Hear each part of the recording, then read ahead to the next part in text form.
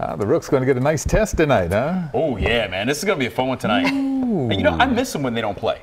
The Sixers. Yeah, I I, do too. I almost want to see them every night. And, I uh, too. You know, gotta wait it out. uh, the Sixers visiting the Jazz tonight. That means rookie Matisse Thybulle will likely defend Utah guard Donovan Mitchell. Two weeks into the season, and Thybulle has already made defense an art form, and that should surprise none of us. Lesley Van Arsdall has more.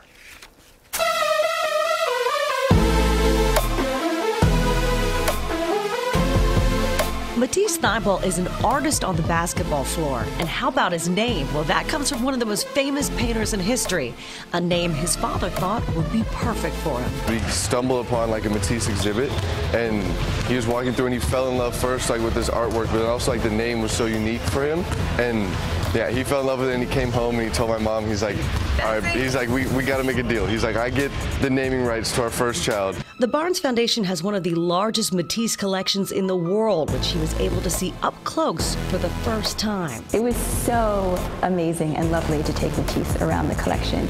He's such a thoughtful and kind person, um, and he, he had a great time. We had a great time. Did you know, like a young age, this was a famous artist? Because so in like third and fourth grade, you do like a unit where you study Picasso and Matisse. So like that's when I first realized like no way. Like we were learning about who I was named after. Oh, that was it? Yeah, so I, like I felt like so cool because everyone was saying my name in class. Because you have this name, does it make you appreciate art more growing up?